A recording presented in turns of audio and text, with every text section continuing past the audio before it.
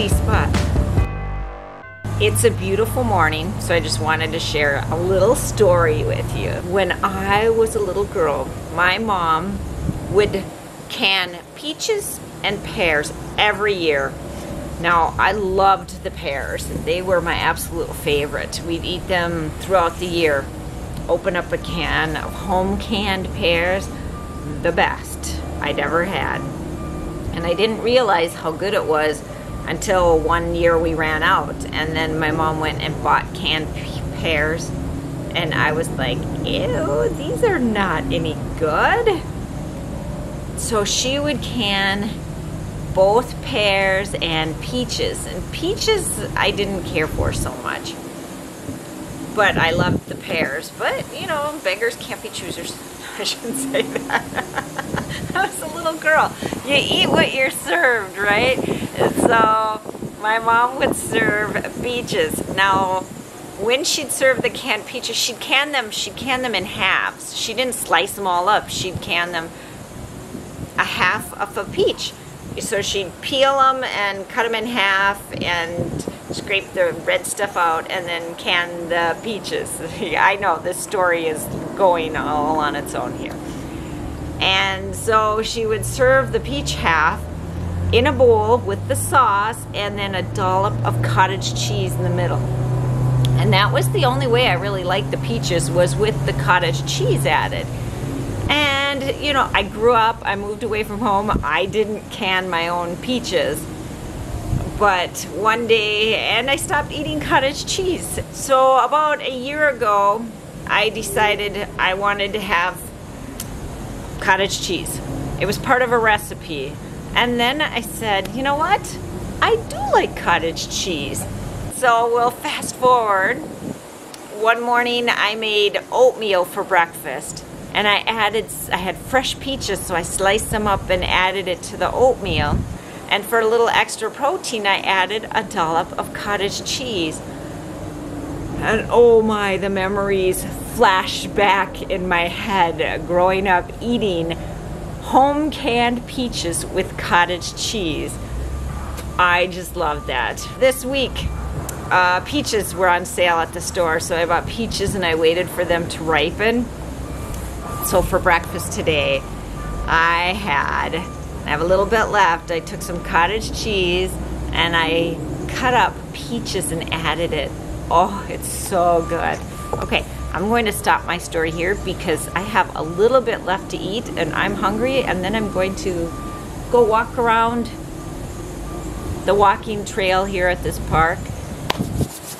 Oh, and one more reason why I'm just having cottage cheese and peaches for breakfast today. Two days ago, I walked into a glass pane. I thought I was walking into a door.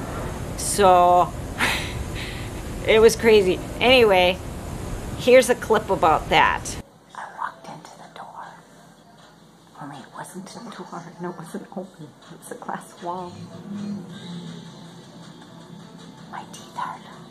So, you see, I walked into that door and my mouth is still sore. My teeth are sore, so when I bite down, it hurts. So, soft food. Yeah that's it. All right, I'm headed off for my walk. Well, first I'm gonna finish my food. Now, because I stopped to smell the roses, I mean eat my breakfast. Oh, hold on a second. Okay, because my teeth still hurt, I've been wearing, I have this night guard, night splint, I don't know what you call it, that I sleep in because I grind my teeth at night. So I've been putting that in during the day because it just feels better Anyway, since I stopped to eat my breakfast, I don't have time to walk the whole trail, so I thought I'd take another path. Look at, aren't they beautiful steps there? Look at that. So rustic looking. Anyway, I'm going to take a different trail today. There are huge, huge trees at this park. Look at how big that tree is. See that? Whoa. Guess you can't really tell how big it is. Just huge, huge trees. like, wow. Okay, I'll come closer. Then you get an idea. Look at it. It's a huge tree. I love the big old trees. Don't know why. I just do. No, I'm just rambling. You guys are probably tired of that. Putting my guard back in. Oh, that hurt just to put it in. This is the trail I'm going to walk down.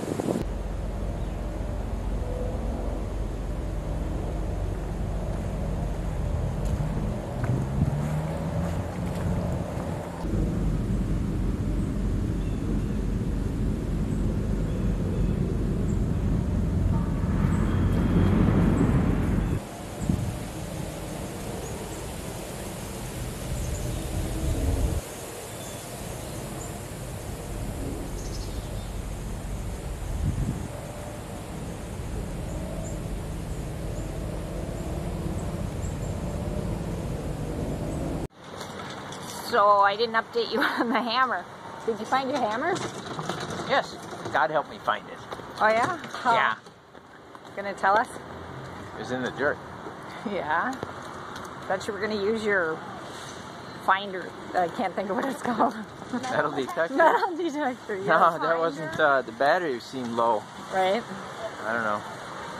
So I dug the whole thing out with a backhoe and then there it was. Oh. Okay, I am completely, I am completely blinded by this light.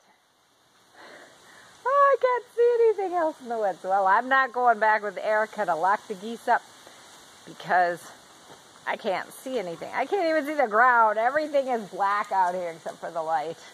Everything is so dark. Well, I can see the house now because I turned around. I can hear the dog. So what happened was I better be careful. I can't walk. I'll step on something. What happened was, I'm feeling my way along. Erica takes the dogs with her to go lock the geese up at night. So she opened the door and said, come on, Piper. Piper ran outside. She turned around and ran right back in the house. And Erica's like, well, that's really strange. And she thought, and yeah, well, you know, come on, Piper. Encouraged her to come out again and she got her to come out, and then Samson was out, and that's when she noticed the snake. Oh, look at that. Oh, look at that. Oh, it's got a feather on it. she ran back inside because she saw it. And I that's like, why she didn't want to like, go out. Go, and she's like, there's a snake out here. Piper was over afraid of the snake. She went running back in the house. Now the dogs are here by the house. Oh, here comes Erica through the woods. See that light back there? Anyway, that was almost ran into a pot. I can kind of see because the light. I'm so close to the house now. Uh, yep, that was our excitement for tonight. A snake. Whoa, this light really blinds me. Is the snake still out here? Piper thinks so. Oh, she yeah, just, it's still oh, there. It it's still oh, there. Look, look at how she's